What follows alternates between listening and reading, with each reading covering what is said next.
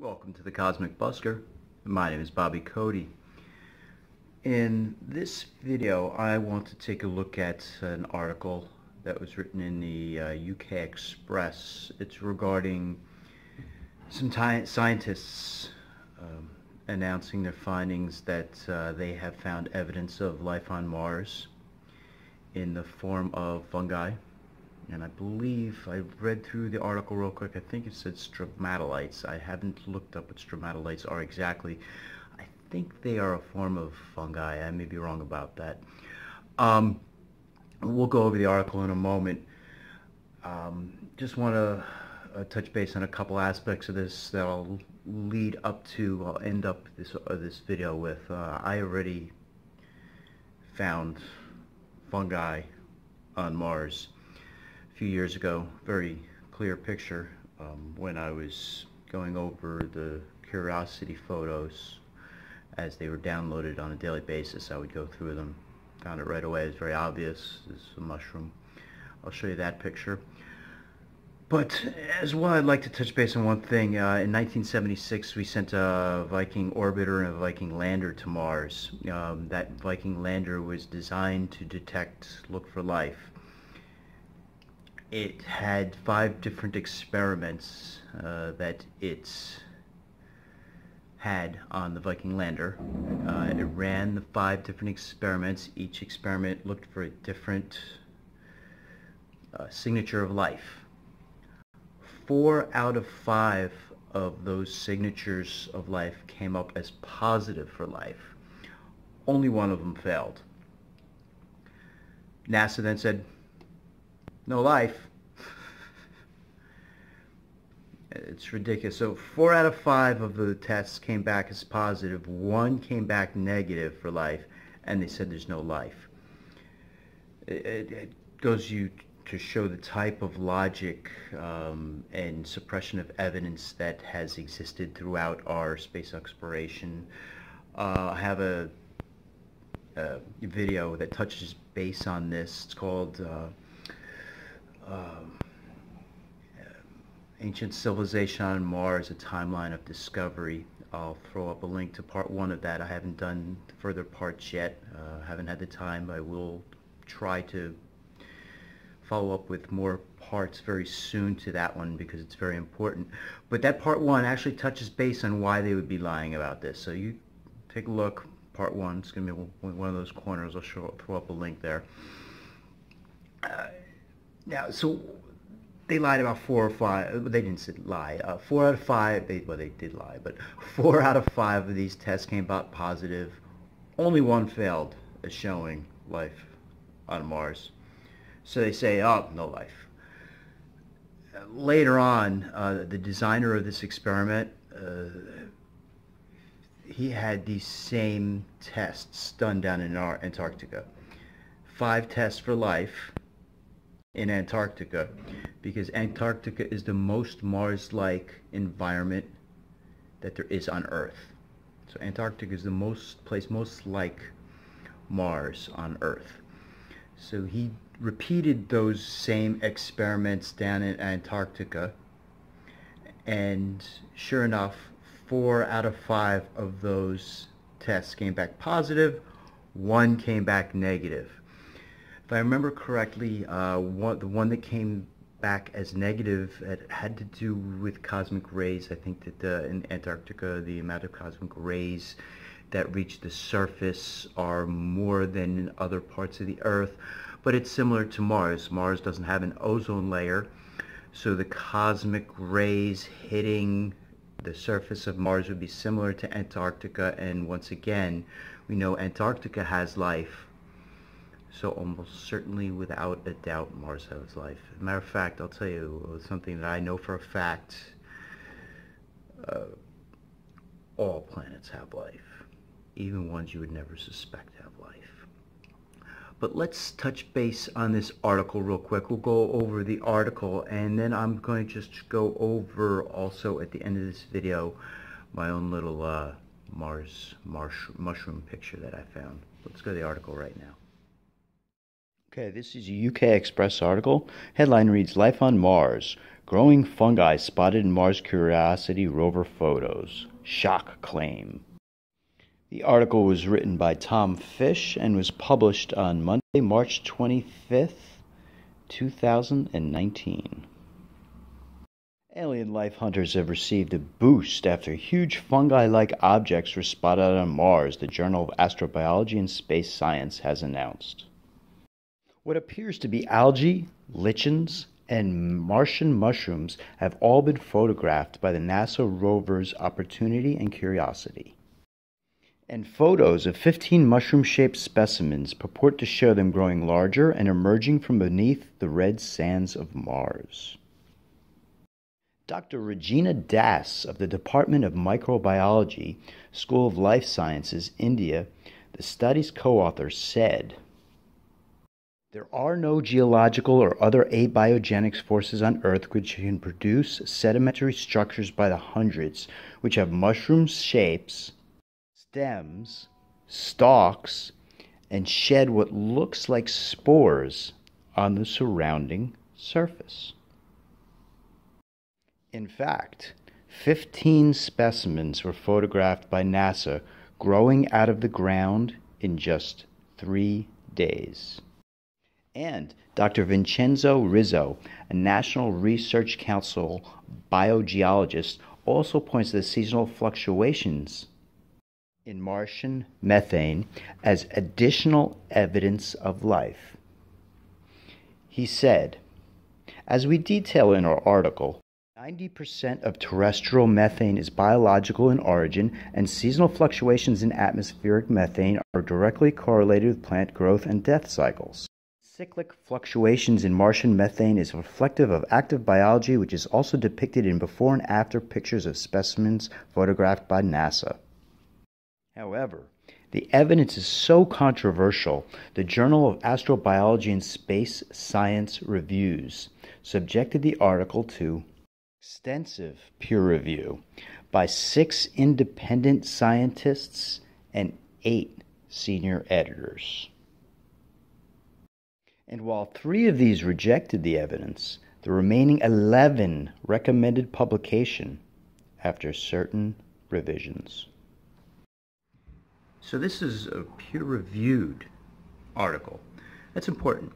Um, based on my past research and past knowledge of studying this for 40 years, uh, basically peer-reviewed publications just refuse to look at the evidence it wasn't even a matter of uh, past evidence of life on Mars not getting through the peer review saying them saying no this isn't you know.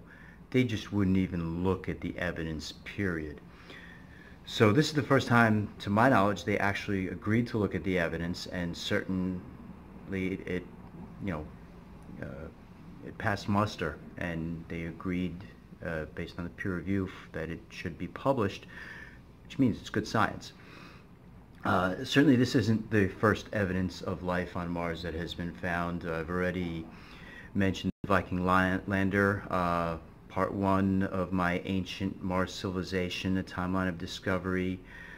Uh, I present numerous structures that prove that not only was there life on Mars, but there was actually way, way back in the millions of years ago past a civilization, intelligent life that had civilization, ability to build structures and technology.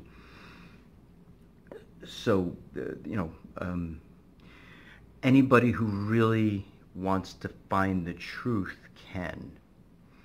I recently had somebody say something, we were discussing something controver controversial, um, and he stated, well, you believe what you want to believe.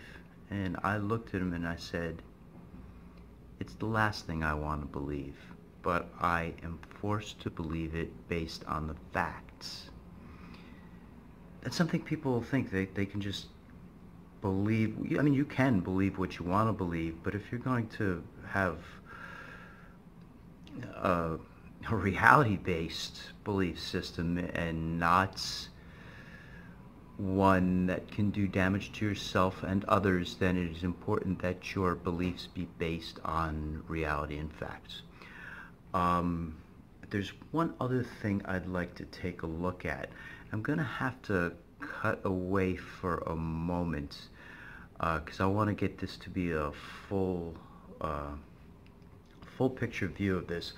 This is my own little finding of a, a mushroom on Mars. Nothing new. Anybody who's been researching this extensively over the past few years since Mars Curiosity rover landed has more than likely seen this. Uh, it may be new for some people who haven't seen this. Um, you know, I found it right away. Uh, I can state that I was one of the first few to see it because I downloaded this the day of the picture being taken and downloaded from Mars to Earth. So I was one of the first few to see this, so I can honestly say I'm one of the originating discoverers of it, at least uh, one of the Earth-based originating discoverers of it.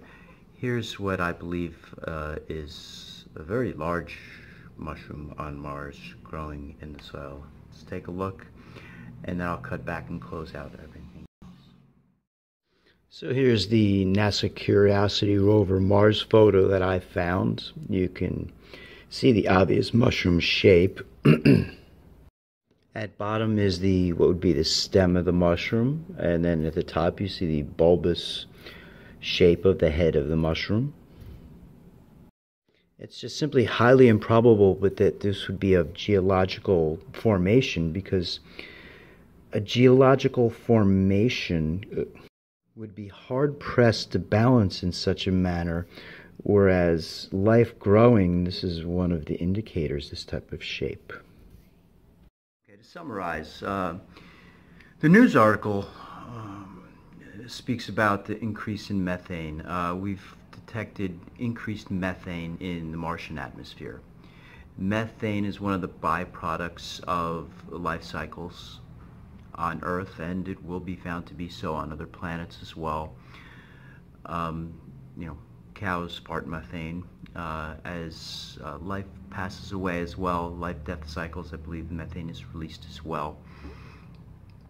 Uh, so that's what the article talks about. It talks about the Martian fungi appearing to grow, give off spores. Uh, this is all signals of life. Uh, these are fungi. There's almost no doubt about it. Uh, as I just like to reiterate, this is certainly not the first time. This is just the first time scientists have peer-reviewed and agreed that there is life elsewhere. Um, we've had Viking Lander, which four of five of their tests proved life on Mars. We found structures on Mars, faces on Mars, pyramids on Mars. Um, you know, even, there's something really important um, I just want to add before I go. there's something, I believe they're called water bears. Uh, they're tiny little, um, little, almost mi not microscopic, but they're very, very tiny little creatures. Uh, what scientists found, they put these creatures out in orbit uh, and actually released them. They brought them up, I think it was in the space shuttle or in the um, in the space station. I think it was the space station, and they said, uh, "Let's see what happened when we put these water bears out into outer space." put them out to outer space. They went into a kind of uh, suspended hibernation where they just, all their physical life forms shut down. Uh, they went into this uh, suspended animation or hibernation for a long period of time and once they were brought back into um, more uh, life-sustaining environmental conditions back in the um, space station, the water bears came back to life. They have the capacity to go into suspended animation for long periods of time and then once the environmental conditions are right, boom, they're alive again. This is how life spreads throughout the universe. Certainly water bears are probably not the only type of form of life like this, but um, uh, past scientists have speculated what's called panspermia, uh, that the universe essentially has these type of suspended animation life forms floating all over outer space and throughout the universe, and they land on planets and they give birth to life.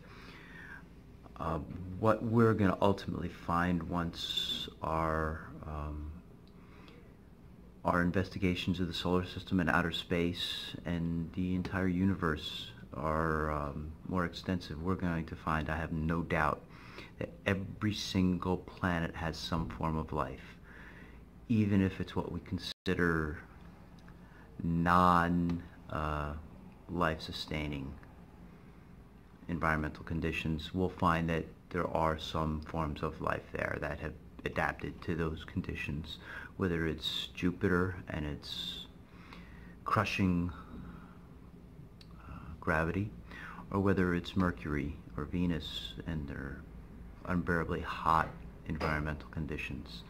I'm certain we're going to find some type of life, whether it's bacteria or what have you, that is able to uh, sustain those um, environmental conditions and flourish. Uh, that's all for now. Um, you see why I'm called this the Cosmic Busker. Uh, any um, arguments, pro or con, I'd love to hear them. Other than that, everybody have a great day and thanks for watching.